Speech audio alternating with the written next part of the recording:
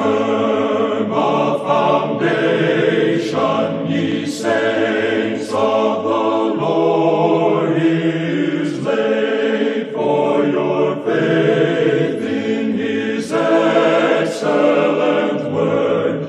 What more can he say? Have you ever heard of the term hermeneutics? It's a funny sounding word, isn't it? Welcome to Through the Bible. I'm your host, Steve Schwetz, and today our teacher, Dr. J. Vernon McGee, explains the importance of hermeneutics, which is the word theologians use to describe the science and art of interpreting the Bible. Also, in our time together, Dr. McGee shares one of his golden rules of Scripture interpretation. That's all ahead as we continue our study of Hebrews in chapter 3. It's going to be a great one, and I know that you're going to enjoy it, and we'll all be learning something, so stay with us. Well, December is letter month. It's a favorite time for us to give special attention to your letters, your texts, and emails, as well as your Facebook posts. However, you choose to write, we're always glad to hear from you. So let's share a few notes that we've recently received. I think that you'll really be encouraged. I know I certainly have been. First, we've got an email from Sharon in Winchester, Virginia. What a great blessing it is to participate with the special part of the body of Christ that prays daily under the banner of World Prayer Team. Way to go, Sharon. We may all be members of a local church, a Bible study, a community group, or various small groups, but there is something very special about praying around the world with the other through the Bible listeners. I know that when I think about and pray daily for the different people groups and individuals who are spoken of in the emails, I'm joining a powerful, unseen group of saints who stand boldly at the throne of grace, seeking God's mercy for the whole world, one nation, one person at a time. It is a joy to consider that wonderful day when we all get to meet each other in heaven where we will come face to face with our glorious Savior and King. What a blessing it'll be to shake hands with the great believers who are waiting to greet us like the Apostle Paul and Dr. J. Vernon McGee.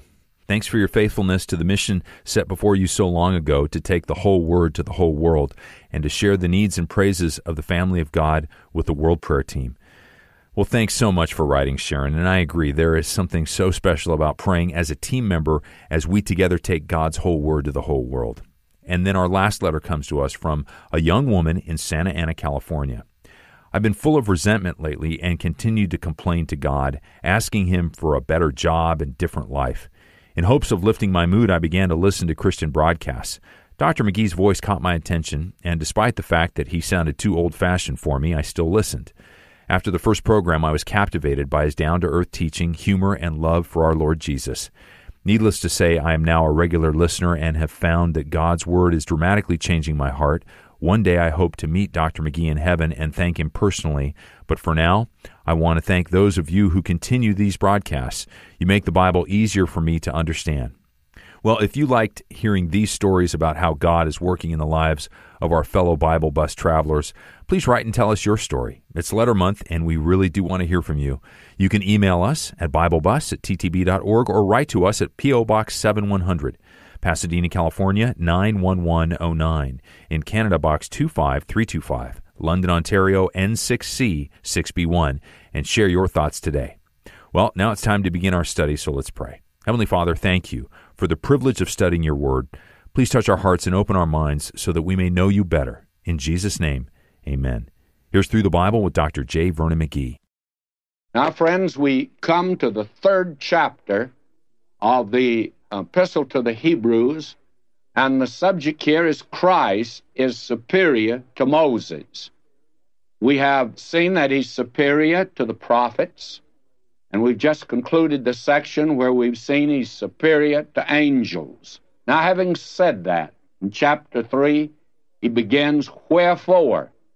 And this is another reason I feel Paul is the writer of this epistle as we said when we were in the epistle to the Romans, Paul uses wherefore and therefore as a sort of a hinge or a cement to present that which is logical. Now, the wherefore is even more than that. The wherefore is to me like a hinge on a swinging door. It go back and forth both ways. Or it can be looked at as a marker when you come in on a freeway or come in on a main thoroughfare. The warning is look both ways. Look this way and that way. And wherefore looks back at what he's already said and looks forward to what he's going to say. So he begins with, Wherefore, holy brethren. And I'm just taking these expressions up now as we come to them. Brethren would mean those that were Hebrews, like Paul. Paul was after the flesh a Hebrew, and he called them his brethren after the flesh that were believers. And they're holy not because of what they do, but because of the fact that the word actually means separated. They are separated unto God. They belong to Him now, holy brethren. And then he says, partakers of the heavenly calling. Now, the nation Israel had an earthly calling. All the promises in the Old Testament to the nation Israel had to do with this earth. He promised them rain from heaven. He promised them the fertility of the soil, bountiful crops, and those blessings were physical blessings, although they are spiritual. Today, the idea that anything physical can't be used in a spiritual way is wrong, and that's one reason that people don't like to have money mentioned in church. Well, what's wrong with it? Money can be used in a spiritual way. It's not very impressive to hear somebody pray for something and then not back it up with their pocketbook.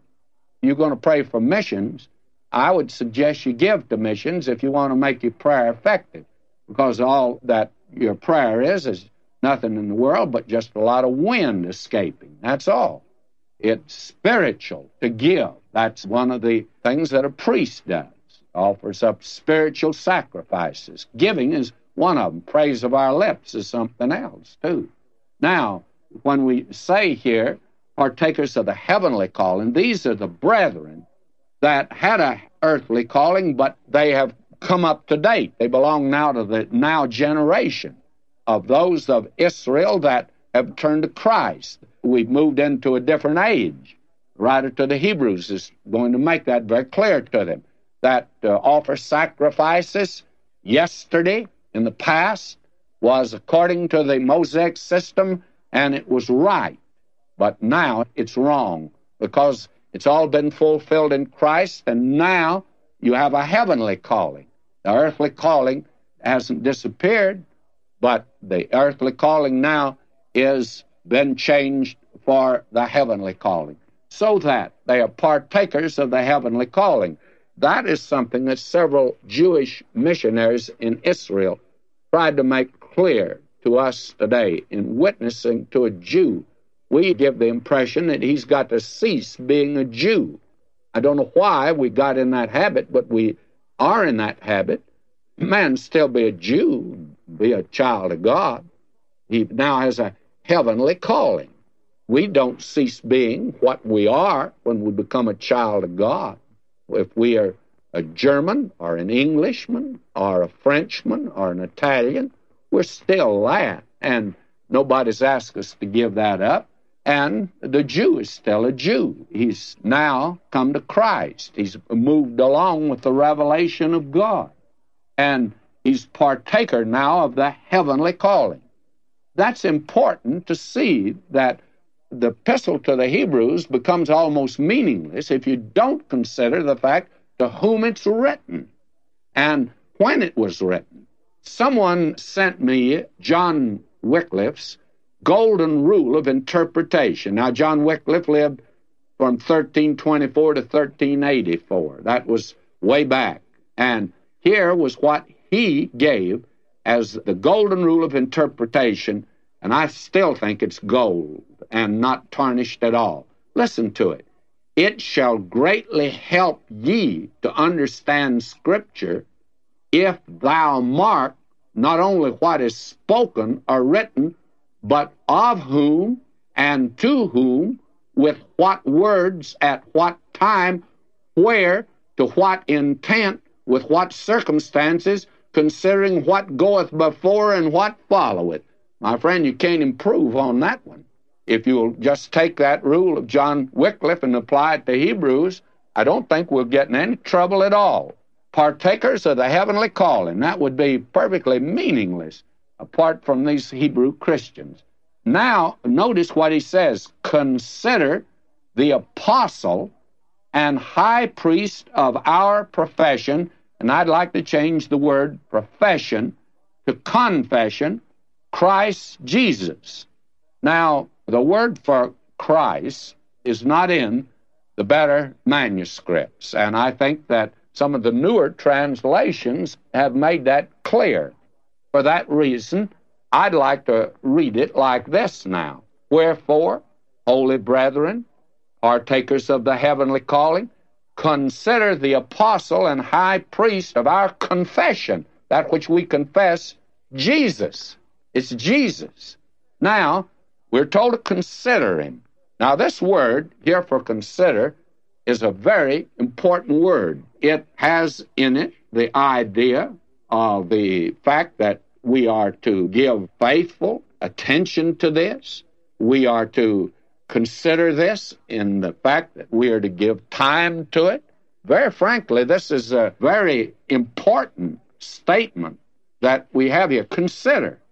Spend your time thinking about him. Consider him. It's a very significant word, and it's one that we ought to recognize that it means careful, careful thought, and serious attention.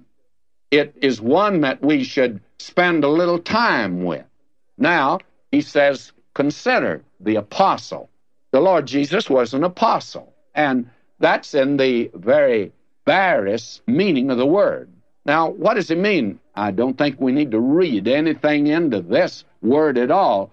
After all, what is an apostle? It's one who's sent. Consider the apostle. He was sent from God to this world. He's God's messenger. He's the revelation of God. Consider him. Now he comes from God to man as an apostle, but he says, consider the apostle and high priest. Now that's going to be the subject of this epistle, and for the moment, the writer to the Hebrews will omit it, and then when he comes back to it, that's all he's going to talk about. And we'll have to wait till we get to the fifth chapter to see that. But let me say this at this point we have a high priest, we're to consider him, and a high priest is going the opposite direction from an apostle. Now, an apostle is coming from God to man with a message. That was a prophet. The prophet spoke for God to man. But a high priest, he's going on the other side of the freeway in the opposite direction. He's coming from man to God. He represents man before God. Now, he is our high priest. He represents us before God. And who is he? It's Jesus. Jesus, the man, Christ Jesus. Jesus. The emphasis is upon his humanity. Again, I want to say this. There's a man in the glory today, friends, and he represents us up there. I am very happy he's up there because we're told that he is an advocate for us. He defends us. He's on our side. He understands us. He understands me as no one understands me. I feel like sometime that when I talk to somebody and try to make something clear to them, I don't quite make it clear. I tried to explain to an audience some time ago the feeling I had when I was told I had cancer. And I saw after I talked a couple minutes that I wasn't getting through at all. They didn't really understand my feeling. But you know, Jesus understands exactly how I felt, and He understands how you feel. And we're to consider this. We are to give serious thought to this, friends, and careful attention. We've got an apostle. He came from God, and he's our high priest. He went into God's presence for you and for me today. That's quite a wonderful verse, as you can see. Now he's going to show that he is superior to Moses. You see, having taken up the prophets who spoke for God in the Old Testament, and having shown he's superior to angels, because they gave so much attention to that, now he must show that he's superior to Moses, because Moses is very important. Several years ago, they had a debate, that is, the rabbis did, over in Denver, Colorado. Who was the greatest, Abraham or Moses? And it's my understanding that Moses was the one that they finally decided was the greatest. Moses was greater even than Abraham. Moses was the greatest. Now, if Jesus is to be considered, he has to be superior to Moses. Now, he's going to show that. And how is Jesus superior to Moses? We're told here that the Lord Jesus was faithful to him that appointed him. The Lord Jesus was faithful as he came down to this earth to represent God to man, and he's faithful as he represents us to God. But Moses also was faithful in all his house. Now, whose house are we talking about here? By the way, that word house occurs seven times in the next six verses. It's very important to determine whose house we're talking about. Is it Moses' house? I don't think so. He's talking about God's house. Moses was faithful in his house, that is, in God's house. Moses was called to do a certain thing, and Moses was found faithful. Now, Moses made some mistakes and wrote about them. Several years ago, a liberal went around this country and he talked about the mistakes of Moses. There was Ingersoll, I think, and some famous preacher followed him around, and he gave a message on the mistakes of Bob Ingersoll. Well, Moses did make mistakes, but not in writing the Pentateuch. But in the Pentateuch, he tells us about some mistakes that even Moses made. You know, he shouldn't have smitten that rock as much as he did. Fact the matter is, he shouldn't have smitten it at all the second time once was enough because that rock speaks of Christ, and God was protecting that type, that picture of Christ. He was smitten once for us. Moses lost his temper. He didn't know what he was doing, and he smote the rock twice. Moses made some mistakes, but isn't it wonderful here, now that Moses' life is all past, the thing that he was noted for, he was faithful. Faithful to God. That's the thing the Lord Jesus, we're told, is going to commend his own for. That is, faithfulness. Well done, thou good and faithful servant. Faithfulness. And I tell you, I don't care who he is, a man that's not faithful to the task that he's called to do. And I'm always suspicious of a preacher who is an assistant or under a pastor and he's not faithful to him. I was holding meetings for a very wonderful preacher, and he doesn't play golf, but his assistant played golf. So his assistant took me out to play golf.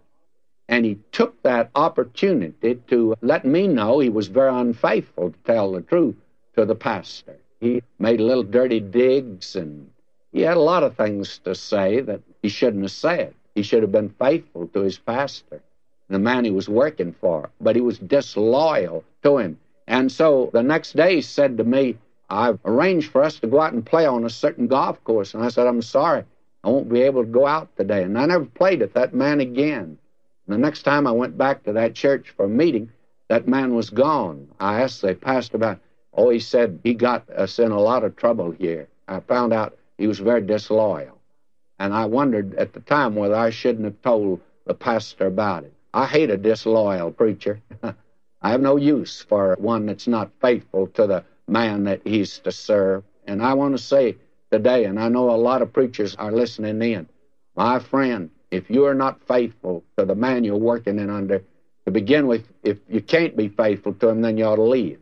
And if you're not faithful to him, you're not faithful to God. I can tell you that. You are not a man to be trusted.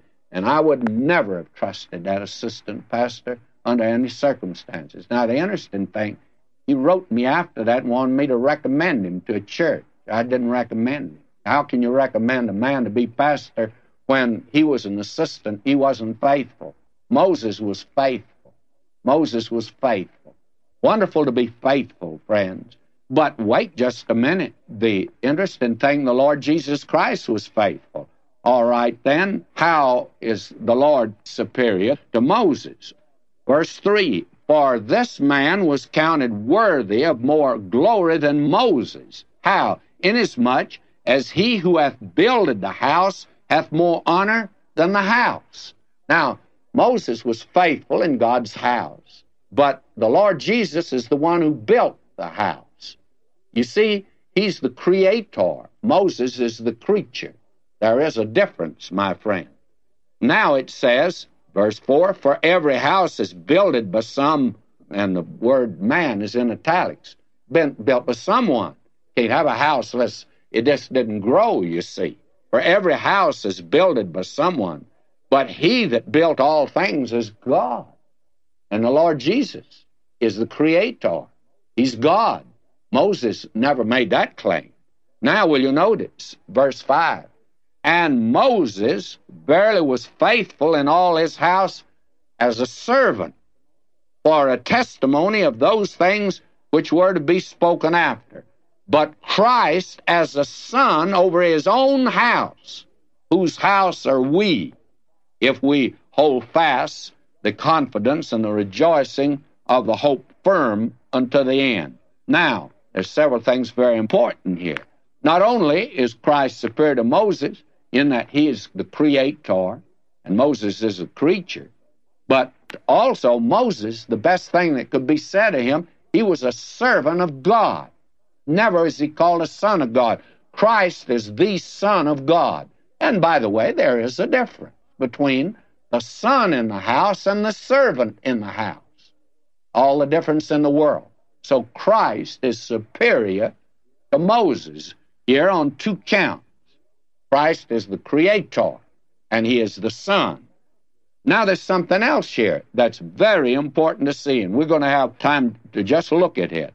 It says here, if we hold fast the confidence and the rejoicing of the hope firm unto the end. Paul had a way of using ifs, not as a condition, but as a method of argument and of logic, by the way. I think what he's saying here is since we hold fast the confidence and the rejoicing of the hope to the end. In other words, if we are a son of God, if we are partakers of the heavenly calling, we will be faithful. We will hold fast. That's the proof of it. And you remember John put it like this over in 1 John 2 19. Let me read that. They went out from us, but they were not of us. For if they had been of us, they would no doubt have continued with us. But they went out that they might be made manifest that they were not all of us. Now, I have always believed that God has permitted the cults to come along to draw out of the churches those that are not really believers. That's one way He has a straining. The proof that you are a child of God is the fact that you're faithful to God and that you hold to the faith. That doesn't make you a child of God. That's the proof you are a child of God, my friend. And if you are a child of God, you will hold out, not because you're able to, but because He's able to make you stand, therefore. So what we have here is the if of argument, that you are holding out. And that means you are partaker of the heavenly calling, you see. You are among the brethren. And if you're not, you're going to move out. That's the reason I always use the Bible sort of as a means of testing. When I was pastor of a church, I taught the Word of God. And when a person really is a child of God, he's going to hold to the Word of God. He's going to love the Word of God. He wants to hear his Father talking to him. And I used it as a Geiger counter. You know, I just put it down on a fella. You don't get any reaction. You're almost sure he's not a child of God. Oh, he may be a church member. We've got a lot of those around today. But my friend, it's your relationship to the Word of God. Are you faithful? That is the evidence. You are a child of God. Until next time, may God richly bless you, my beloved. What about you? Are you faithful to His Word? Is your love and desire to read and study God's Word growing? I know from personal experience that just because you want to read and study the Bible, you may not always understand what it's saying. And that's where Through the Bible can really help. Our program, you see, is designed to take you through the Word of God from Genesis to Revelation in a five year journey of what Dr. McGee affectionately called the Bible bus. So, no matter where you live or when you join us, if you stay on the bus, you'll hear the entire Bible taught in five years. And to receive regular updates through the journey, including our monthly newsletter, you'll want to join our mailing list. It'll extend what you're learning a little further with more great teaching from Dr. McGee and faces and names to put with what you learn about through the Bible's global outreach. You can get it by email or you can have it delivered to your home. To be added to our mailing list, simply visit us at ttb.org and sign up or call us today at 1 800 65 Bible. That's also the number that you can call to find out more about the many Bible study resources that are written and recorded by Dr. McGee. Again, the number is 1 800 652 4253. If you're enjoying our time in Hebrews and you want to continue with us as we study the supremacy of Christ, then join us tomorrow right here on Through the Bible. Until then, I'm Steve Schwetz, praying that God's Word will lead you to a deeper, sweeter walk with the Lord Jesus today. Had left a crimson stain, he washed it white as snow. We're so grateful for the faithful and generous support of Through the Bible's partners who are being used by God to take the whole Word to the whole world.